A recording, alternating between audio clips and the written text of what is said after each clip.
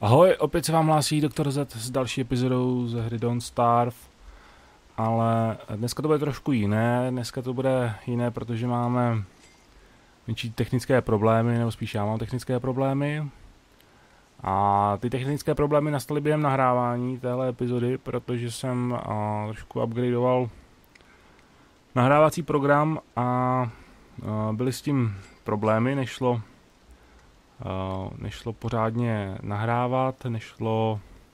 Prostě se to celý nějak pokazilo a uh, musel jsem asi, asi den nebo dva jsem prostě řešil, jak to znovu zprovoznit a uh, jak zachovat stejnou kvalitu a takovéhle věci. Takže nakonec jsem to uh, jak si vyřešil a mm, měl jsem čas, abych nahrál více epizod, takže jsem se pustil do nahrávání. Nakonec jich bylo pět a tři z toho se nahrály úplně v pohodě, tři videa se nahrály prostě bez problémů a dvě uh, to prostě nějak, nevím, co se stalo, ale u dvou videí se nenahrál komentář. Takže jedno z těch videí, jak už jste zjistili, je právě Don't Starve a druhé bylo um, Might and Magic Duel of Champions, což mě docela mrzí, protože to byl hezký duel, který jsem tam hrál. No, to nevadí. Takže se pokusím vám přinést uh, přinést uh, komentář do téhle epizody Don't Starve. A tady na mě zrovna útočí uh, vražed, vražedné, myslím, že byl Killer Bees, vraždí, vraždící vraždící včely.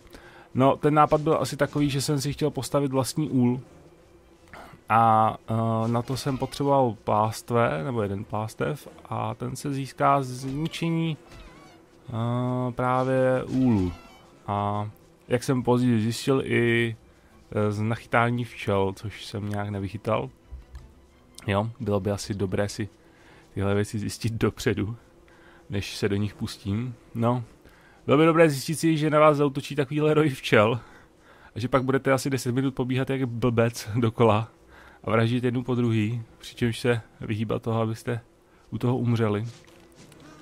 No, takže tady uh, se snažím bojovat sorem včel a vůbec se mi to nedaří.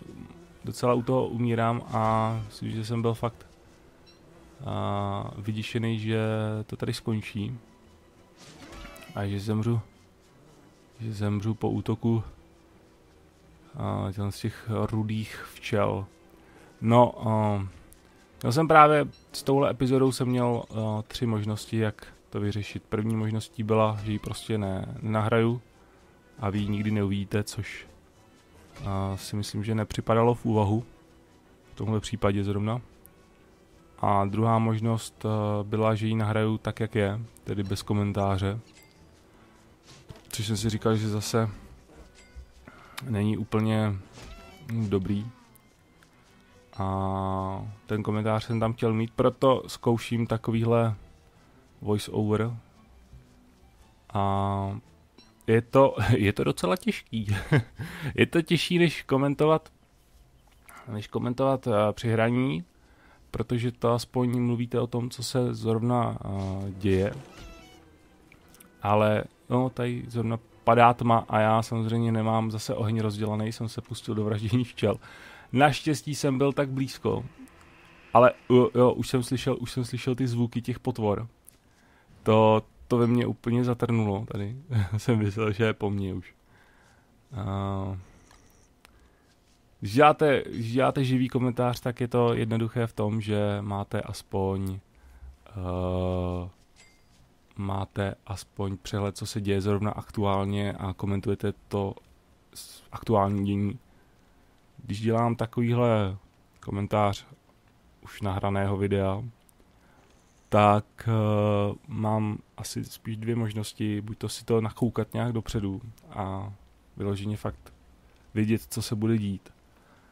A pokusit se, no no, asi komentovat to přímo uh, jako simulovat živý komentář, to myslím, že by bylo docela hodně těžký, to na to asi nemám. Ale takový ale spíš jakože kecání o ničem a zároveň trošku komentování toho, co se děje, je uh, daleko schůdnější a snazší, než uh, se pokoušet to živě komentovat, jakože no tak si, co udělám teďka, teď si vezmu semínka a teď nevím, co uděláš, jo. No tak teďka půjdu do truhly asi, že, ne? Nebo co, přemýšlím, jo, truhla, no, vezmu si tady něco, nemám tam nic, co hledám, vůbec nevím, co hledám, už jsem na to úplně zapomněl, to jsem to nahrával včera, jo. a, jo, vím, že jsem se dlouho divil, co se to děje s těma barvama, že, to jsou, že jsou nějaký uh, moc světlý, takový do bíla, do modra, stříbrna, že ty ptáci jsou nějací divný. A jasně, já jsem hledal nějaký způsob, jak ty včely, jak ty včely zabít. A už vím, jasně, já jsem zraněn. proto jsem, uh, proto jsem hledal způsob, jak si vyléčit a tam se může vyrobit ta mastička, na kterou potřebujete právě popel, proto jsem tam zapálil ten uh, trs. A potřebuje na to ještě... Hm, co na to potřebuju? Uh, tu pavoučí žlázu a ještě něco snad. Z toho se vyrobí taková taková mastička, která by vás měla vyléčit. Teď jsem tady byl úplně, jsem se vyděsil útokem tučňáků. Nečekaný, to jsem v životě neviděl. Protože já jsem to hrál strašně dávno, tuhle hru, ještě v době, kdy to bylo, kdy to nebylo vydaný, myslím, že to bylo uh, nějaký beta verzi snad. Tam ještě nebyly všechny, všechny ty vychytávky, rozhodně tam nebyly třeba roční období. Myslím, že tam nebyl ani déšť, jo, spousta věcí tam nebylo. A teďka jsem si to, no tohle, tohle nevím, proč jsem udělal, ale prostě se stalo a omylem jsem zapálil tady pana Mafalou. Pan Mafalou to, ho to trošku rozlobilo. A já se mu nedivím. Ho to rozlobilo tak, že až tam udělal bobek z toho. a takže mě tady takhle honil uh, docela dlouho docela dlouho a vzhledem k tomu, že nemám moc života a on je docela rychlej, tak jsem si říkal, že to je taky můj konec. Prostě tahle epizoda byla plná takových šílených událostí, kdy jsem už vyloženě měl pocit, že teda končím, no. Že tohle to jsem nevěděl, jak se s ním vypořádat, protože na, na kopí jako to, to fakt ne, to ho asi těžko zabiju, ten bude a dávat rány jak blázen, tak jsem se ho pokusil ještě upálit znova. Vždycky zmateně chudák pobíhal, ale nějak to nemělo většího účinku. Tady jsem naštěstí udělal teda nějaký popel, tak jsem si ho sebral, protože jsem si z toho pak mohl udělat další tu mastičku. Vždycky ho zapálil a on pak najednou zase začal útočit, takže jako nějak to vůbec neřešil, že jsem ho hm, se snažil upálit. Jo, tady jsem to přesně díval nad tím bílým králíkem. Jsem si říkal, jako, co se to, co se to sakra děje? Proč jsou tady bílí králíci? No, pan Mafalou byl evidentně těžce rozčílen a já jsem potřeboval si vypěstovat nějaké jídlo, protože jsem neměl. Takže uh, samozřejmě nejlepší pozbírat bobky, když už tam mám nějakou tu farmu. A Naštěstí jsem nějaké našel. Přesně tolik, kolik jsem potřeboval, tedy dva. A do zásoby ještě třetí. Um, no, takže tohle byla epizoda, kdy jsem poprvé uh, zažil, za a poprvé zabil snad, poprvé jsem upálil mafalou. poprvé jsem zautočil na včelí úl. A poprvé jsem uh, zaži- viděl tušňáky, kteří takhle brání ještě navíc svá, uh, svá vajíčka, což může být zajímavé. Zvlášť když na ně pak zautočíte třeba, to může být asi docela, uh, docela drsný. A poprvé jsem taky zažil zimu. Protože jo, spoiler, blíží se zima. Vy jistě, kteří, uh, vy, vy, kteří to už jste hráli a víte, o co go, tak uh, jste jistě poznali to zbarvení té obrazovky a že se tam objevili tučňáci a že králíci jsou bílí, ptáci jsou jiní. Takže se blíží zima. Já se neměl na prostý tušení, že to je ono. A trošku mě to zaskočilo. Trošku hodně, protože tak nějak netuším přesně, co všechno se má uh, v průběhu té zimy dělat.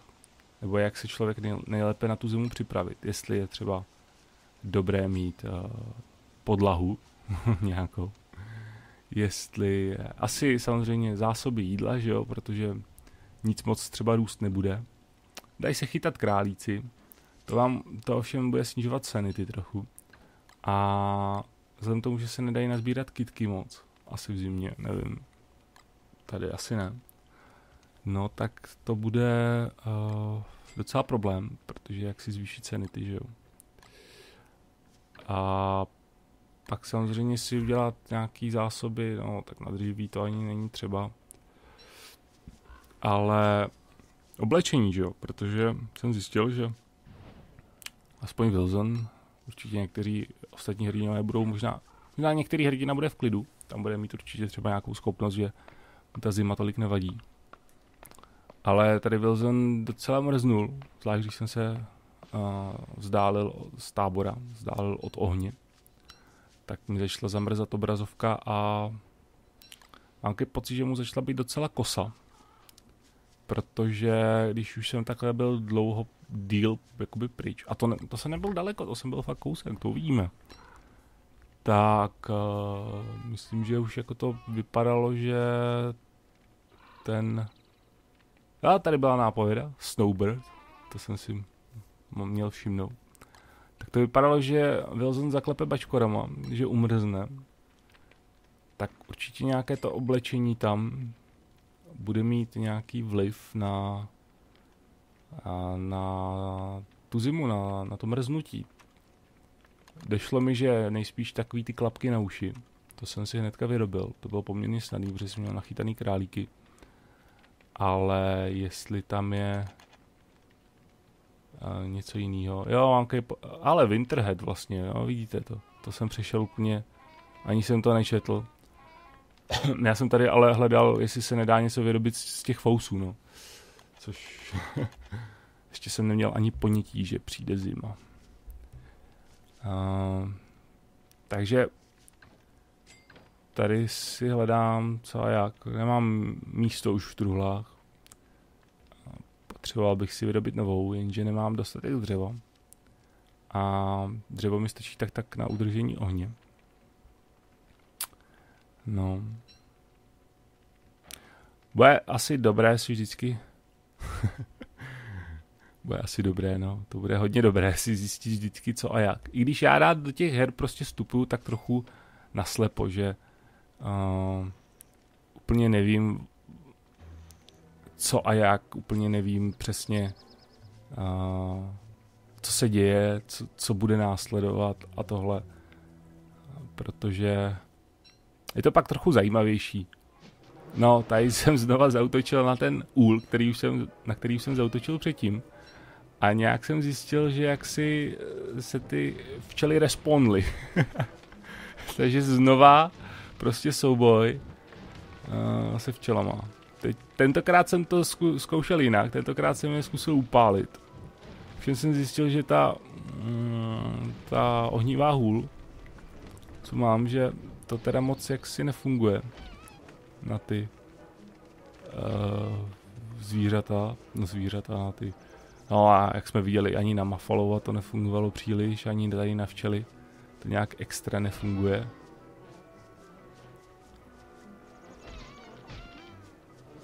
Když to bylo pak snažší je dorazit, no, tím uh, kopím. Bylo něco snažší je pak dodělat. A tady už nám přišla zima. A já úplně jakože šílim, co se to děje. A další dvě včely, no tak prostě to, jich je tam snad milion těch včel. Ono se to obnovilo asi přes tu noc. Protože zase ze začátku tam byly všechny a pak ještě dvě to je nejspíš nějaký jako vzorec, jak to, jak to chodí. Že prvé voláte, kolik jich bylo asi sedm, a pak když znova, nebo, nebo 8, a pak když znova zautočíte na to, tak uh, výjdou dvě. A mám takový pocit, že podobně je to s pavoukama, že vylezou prvé dva a pak ještě jeden snad, nebo tak nějak. A záleží, kolik je tam nasoučkovaných, v nasáčkovaných v tom, uh, v tom svém obydlí. Uh, no, takže já začínám panikařit trochu a snažím se tak nějak jakože logicky přijít na to, co, co, uh, co budu potřebovat na zimu. Takže se snažím ještě tady vysadit nějaký ty stromky, aby mi trochu možná něco vyrostlo, pokácet nějaký, abych měl dříví na oheň, protože jsem si říkal, že bude asi docela třeba ten oheň udržovat tak nějak permanentně skoro. A začíná mi zamrzet obrazovka. Ten zvuk byl docela nepříjemný a úplně si říkal, co teď. A, takže příprava je v plném proudu. Taková chaba samozřejmě, protože nevím, co dělat.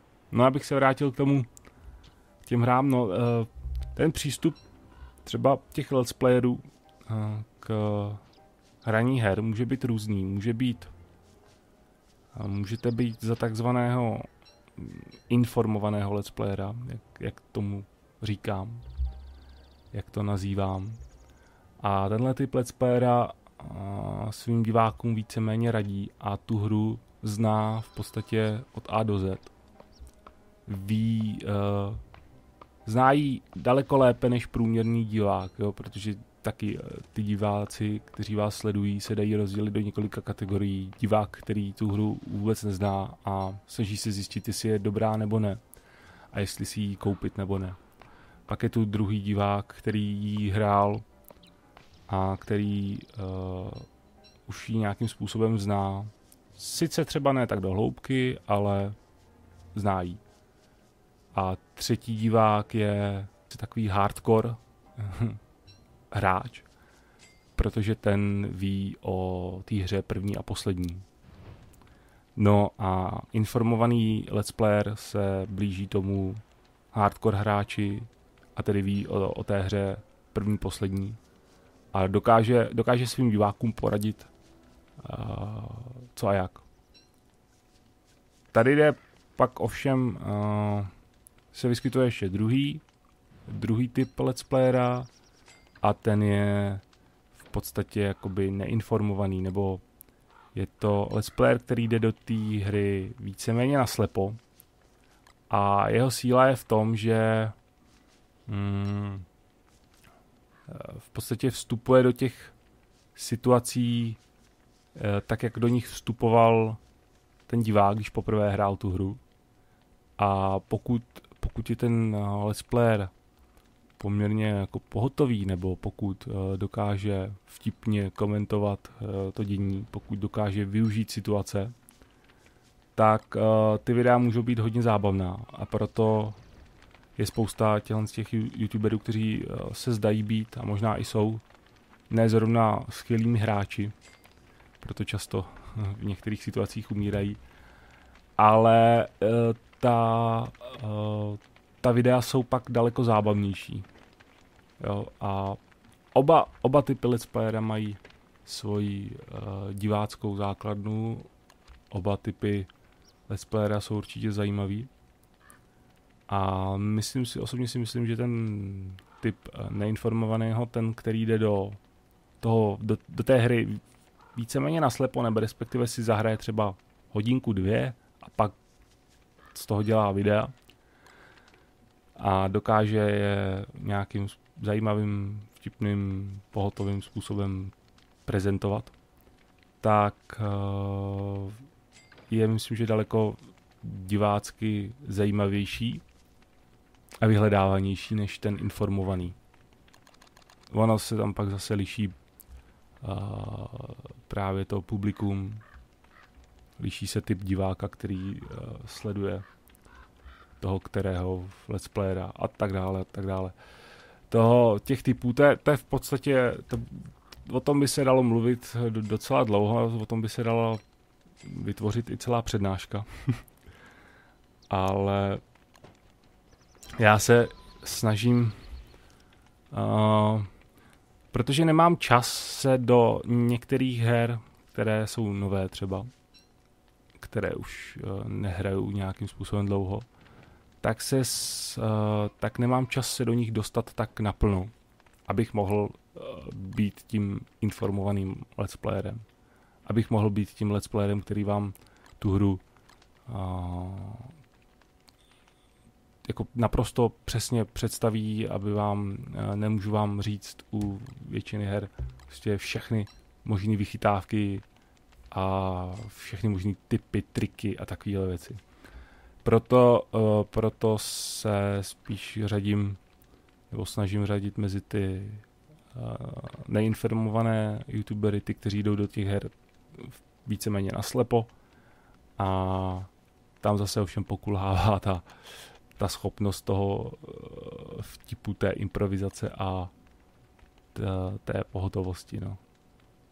A, takže uvidíme, třeba se to s časem zlepší, třeba to bude nebo aspoň mně se zdá, že se trochu víc uh, začínám v tom, nebo začínám se v, uh, trochu víc zlepšovat v těch videích, i když občas to taky stojí za prd, ale uvidíme, no, tak myslím, že je to dost uh, taky o tréninku, o tom, jak dlouho a jak často uh, to člověk dělá.